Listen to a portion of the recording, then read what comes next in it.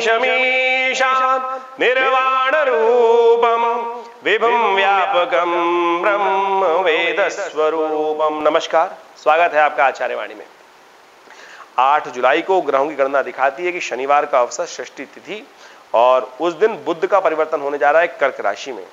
ये बुद्ध का परिवर्तन कर्क राशि में आपके अनुकूल रहेगा परिवर्तन लाएगा आपकी मैनेजिंग कैपेसिटी को एनहांस करेगा योग्यता के द्वारा आपको बहुत बढ़िया लाभ प्राप्ति के योग बन सकते हैं। और साफ़ साफ़ दिखा रहा है ग्रह कि आपके अंदर जो ऑर्गेनाइजिंग कैपेसिटी रहेगी चीज़ों को सम, जो विशेष तौर पर बैलेंस करने की स्थिति अच्छी बन सकती है तो इसका लाभ आपको लेने का प्रयास करना चाहिए। लेकिन बुद्ध थोड़े अस्त चल रहे हैं। ऐसे में सावन का महीना चल रहा है। भगवान पर दूरवा अर्पित करें, बिलुपत्र अर्पित करें, बुद्ध की शक्ति प्रशस्त होगी। कल्याणकारी योग बनेंगे। शनिवार का अवसर है तो इस बात का और ध्यान रखें कि आपके लिए विशेष तौर पर जो स्थिति है, वो क्योंकि शनिवार का अवसर है तो काली उड़द का दान करना आपके लिए प्रशस्त रहेगा। एक बात का और ध्यान रखिएगा। चंद्रमा मीन राशि में प्रवेश करेंगे। आपकी राशि के अनुसार से स्वास्थ्य पर दोपहर के बाद का समय थोड़ा भारी पड़ सकता है। तो इसलिए बेकार के थोड़ा आराम करते हुए काम करें। बहुत ज़्यादा एग्जर्शन आपको कष्ट में डाल सकता है। गुस्सा उस्सा ना करें और इस बात का नहीं तो कष्ट होने के योग बन सकते हैं। वहीं 9 जुलाई की हम बात करें तो रविवार का अवसर है, सप्तमी तिथि है और उस दिन कालाष्टमी है। कालाष्टमी का मतलब सप्तमी सप्तमी के बाद अष्टमी का आगमन हो जाता है। रविवार का जो तिथि है और उस दिन साथ साथ कालाष्टमी, भगवान शिव पार्वती दोनों को पूजन करने का बड़ा सुंदर अवसर है। उसका लाभ अवश्य लें, सावन चल रहा है। भगवान शिव पार्वती का पूजन कर कर सुबह सुबह कल्याणकारी योग बनाए और साथ साथ ग्रहों की गणना विशेष तौर पर स्वास्थ्य पर थोड़ी भारी है।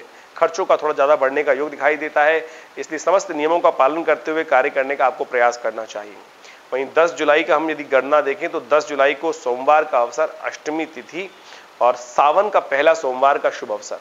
देखिए, ये बहुत सुंदर तिथि है। सावन का पहला सोमवार है और ऐसे में इस बात का ध्यान रखना चाहिए कि भगवान शिव समस्त प्रकार के मनोरथों को सिद्ध करने वाले हैं और सावन के महीने में तो बड़े स्वल्प प्रयास से भगवान शिव का आशीर्वाद मिल जाता है। हमने भी विवेकानंद योगाश्रम में जैसा हमने कार्यक्रम के आरंभ में बताया था, बहुत सुंदर कार्यक्रम रखा है और सावन के पहले सोमवार पर बड़ा भव्य दुर्गा भगवान शंकर का रुद्राभिषेक का कार्यक्रम रखा है सम्मिलित सामूहिक तौर पर।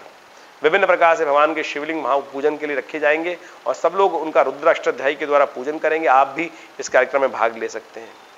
यदि हम तुला राशि वालों की बात करें तो आज का दिन थोड़ा सा ग्रह के हिसाब से भारी दिखाई देता है। आपको विशेष तौर पर स्वास्थ्य का ध्यान रखते हुए कार्य करने का प्रयास करना चाहिए, अन्यथा कोई कष्ट होने के योग दिखाई देते हैं, और साथ साथ चावल का दान करना, भगवान शिव का अभिषेक करना, महामृत्युंजय मंत्र का जप करना यह आपके लिए बहुत उचित रहेगा। सोमवार का अवसर है। औषधि का किसी जरूरतमंद व्यक्ति को भी दान करना आपके लिए अनुकूल दिखाई देता है तो इसका लाभ लीजिए। शाम के लिए ग्रहों का परिवर्तन आपके लिए बड़ा अनुकूल रहता दिखाई दे रहा है। शाम को जब चंद्रमा आपकी मेष राशि में प्रवेश कर जाएँगे तो आपके लिए धन लाभ की सूचना, धन लाभ का आगमन होने के योग बनाएँगे। सुबह थोड़ी भारी है, शाम सूर्यास्त के बाद का समय आपके लिए बड़ा अनुकूल है, लाभ होगा उस समय में। धन्यवाद।